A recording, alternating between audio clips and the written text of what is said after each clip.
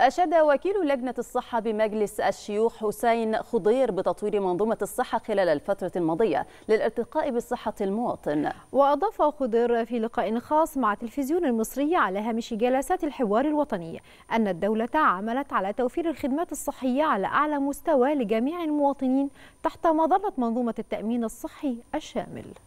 هذه المنظومة هي هدية للشعب المصري وبالحقيقة يعني لا تتخيل حضرتك أنا رحت زرت الإسماعيلية ورحت زرت بورسعيد وشفت المستشفيات وشفت المراكز حاجة فخر لمصر الطبيب مدرب على أعلى مستوى محطوط سيستم عالمي. ما, ما تحكموش بسرعة.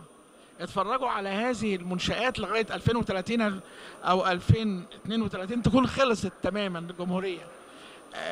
أي حد بيحمل رقم قومي في مصر سواء بيبي صغير أو طفل أو راجل كبير أو شاب هيشترك في هذه المنظومة. إن شاء الله.